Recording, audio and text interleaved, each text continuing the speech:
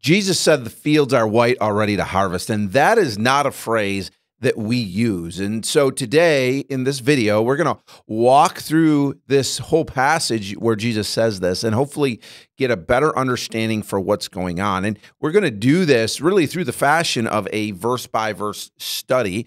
If you're brand new to my channel, first I want to say welcome. Thanks for being here. And then, second of all, I have been studying verse by verse through the book of John. So you're jumping kind of in the middle of a series, and that's okay. Don't go anywhere. But what I'm going to do for you is put down in the description a link to the playlist so that you can go back and really kind of catch up, listen to, or watch all the other videos. And I'd really encourage you to do that. As usual, there's a couple of things that I would love to have you grab that's going to help you get a little bit more out of this video. Grab a notebook so that you can take notes as we study together through the book of John. And hopefully, you then compile some notes through the entire book.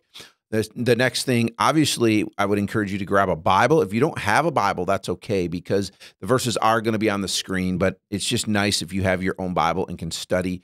There's also a link down in the description for a Bible app that's free. If you don't have a Bible, I'd encourage you to grab that app and put it on your phone or your tablet, and you can follow along or read any other time that you want.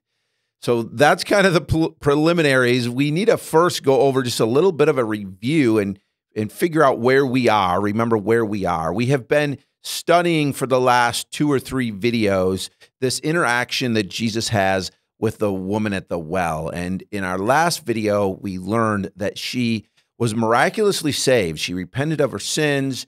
She believed in Jesus. She was so excited that she ran back to the village and she started telling everybody that she knew, everybody she saw, and they began to come out to Jesus. Jesus was able to share the good news of the gospel with with them as well. And then through that, uh, we just see this this great change in the town and in the village. Well, in the midst of this, Jesus had sent the disciples into town to get food, and they came back and they tried to get Jesus to eat some food. And that's where we're going to pick this up because Jesus is not at this point in time ready to eat some food. He is in full ministry mode, and we can learn some really valuable things through that. So we're going to go to, to John chapter 4, and today we're going to look at verses 31 through uh, 38 as we kind of pick this up there. And it says, uh, Meanwhile, the disciples were urging him, saying, Rabbi, eat. But he said to them, I have food to eat that you do not know about. So the disciples said to one another, Has anyone brought him something to eat? And this this kind of is is humorous to me, but encouraging to me because the disciples had seen Jesus many times say things that were kind of hidden. And you'd think by now they would be looking for that, but they weren't. They were confused. And then I, I'm reminded, well, how many times do we miss things that Jesus is trying to teach us too? So, anyway, we keep going here. Uh, it says in verse 34 Jesus said to them, My food is to do the will of him who sent me and to accomplish his work. Do you not say, there are yet four months, and then comes the harvest. Look, I tell you, lift up your eyes and see that the fields are, are white for harvest. Already the one who reaps is receiving wages and gathering fruit for eternal life, so that the sower and reaper may rejoice together. For here the saying holds true one sows and another reaps. I sent you to reap that which you did not labor. Others have labored, and you have entered into their labor. There are some really good truths here. The first observation I have for you is that obedience to do God's will is fulfillment. Jesus is trying to get the disciples to understand that right now he does not need physical food. He he he's doing the will of God and that's fulfillment enough for him. So really what we what we're seeing as we read this is that when the disciples come back, they're they have food. They've been hungry. They assume Jesus is hungry and and they're ready to eat. And Jesus sees this really neat teaching opportunity.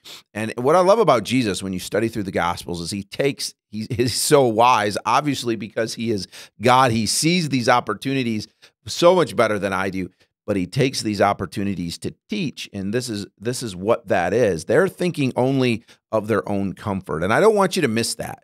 Uh, I don't want you to miss that as we're teaching through here. The disciples come to Jesus thinking of one thing in this moment their own comfort.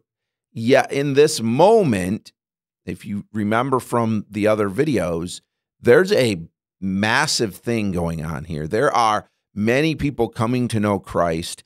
There's a lot of ministry that's happening here. Jesus wants to make sure he doesn't miss an opportunity to teach the disciples. He knows that he can get their attention right now, and he tells them that his food is to do the will of him who sent me.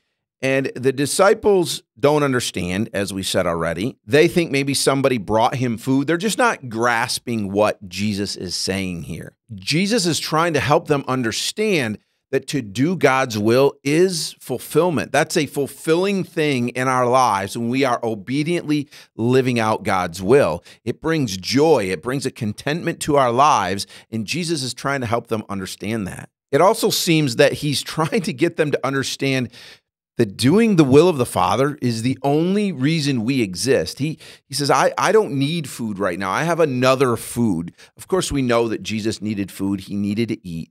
But in that moment, his own comfort, the comfort of the disciples, that what, what they were wanting for their life was not important. The reason they exist, the reason you and I exist, is to do the will of the Father, to live out those good things that he's put in our path. If we go to Ephesians chapter 2 and verse 10, it says, For we are his workmanship, created in Christ Jesus for good works, which God prepared beforehand that we should walk in them. So it, we see here that this idea of doing the will of the Lord, doing these good works is highly important because if you read the first two verses before uh, Ephesians 2:10 it says it talks about our salvation and we can really begin to understand we are saved to do the will of the Father. And the disciples just weren't fully understanding this idea of being saved to do the will of the Father. Let me challenge you with this question. What are some ways that you are living out and obeying the will of the Father? And to take that another step, maybe just take some time to think about, or if you're with a friend watching this, have this discussion about what are the times, what are some specific times that you've been able to set aside your own comfort and do God's will and put Him first and, and live in obedience to Him? And what are some of the blessings you've seen from that? The second observation that I see here comes from verses 35 and 36, and it's that we have a role in God's redemptive plan. And this is so incredible to me that me and my brokenness and my messed up life, God has chosen that I get to have a role in God's redemptive plan. The disciples who came from all kinds of backgrounds who really as as we understand if you study scripture they were a mess themselves yet God chooses to use them and he chooses to use you and I in his redemptive plan that makes no sense to me Seems like there are better ways to do it, but but I am so thrilled that God gives me the opportunity to be involved in that. So, what we see here is an agricultural reference when he begins to talk about the harvest. And the disciples would have understood that very quickly because of this being a uh, an agricultural society. And so they understood very clearly this idea of I'm of I sow seed and then I have to wait for harvest. And it wasn't yet harvest time for them when Jesus says this to them. So this is probably confusing to them because he says, Don't you say that the harvest isn't here yet, right? The harvest is coming later, but I say it's here now. Jesus is telling them something that's incredibly important to you and I. And it's this stop waiting.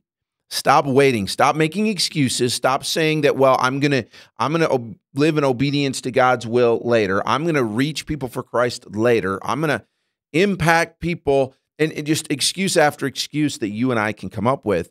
And Jesus is saying, no, it's now. Look around at what's going on. Look at the people around you and their need for God. Now is the time of harvest. Now is the time that we need to be working. Jesus says here, and I and I really like this phrase. He says, "Lift up your eyes" when he talks to the disciples, and and I think this would have been hard for them. This would have been one of those situations where they would have probably felt uh, a little embarrassed because they're worried about whatever they have in their hands for food, and they're trying to get him to eat. And he says, "Quit looking at your own life." Quit looking at your own desires and what you have in your hands and look around you. Look at what's going on. The fields are white unto harvest. Lift up your eyes. Stop worrying about your own life. You and I need to stop worrying about our own life. We need to stop worrying about physical things.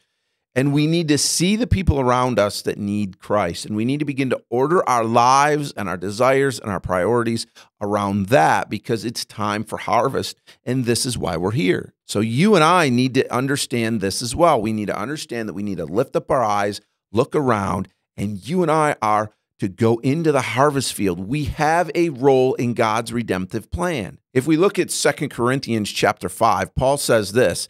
He says that it that is in Christ God was reconciling the world to himself, not counting their trespasses against them, and entrusting to us the message of reconciliation. Therefore, we are ambassadors for Christ, God making his appeal through us we implore you on behalf of Christ, be reconciled to God. Paul is telling us in this passage that God has a role for us in his redemptive plan. We are his ambassadors, we are his mouthpiece. And if we are not participating actively in bringing people to Christ, then we are failing. We are not living out and doing God's will.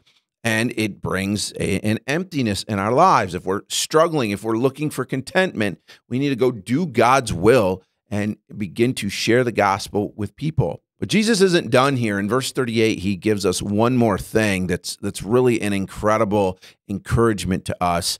And it teaches us this. It teaches us that God does the work and we enjoy the blessing. What does he say? He says, "I'm asking you to just go and and harvest. That's what I'm asking you to do. Somebody else has planted, and we have a role in planting that seed, by the way. But here's what we know and understand. And even in our society not being if you don't live in an agricultural area we do. Uh, but here's what we know. We know that when the farmer plants the seed or when you go out to your garden and you plant the seed there's nothing else that you can do that's within your control until you harvest. Sure you can water you can pull the weeds and really that's a great illustration those are all things that we can do as believers when we're trying to bring somebody to Christ. But the reality is, once the seed is planted, we have no control over what happens to that plant. That plant can grow or that plant can die. And God is the one that grows the plant in your garden. God is the one that grows the corn in the fields. He's the one that grows the seed. And he Jesus is telling the disciples here, somebody plants, I do the work. I grow the seed. And now at this moment, I'm just asking you to go and harvest.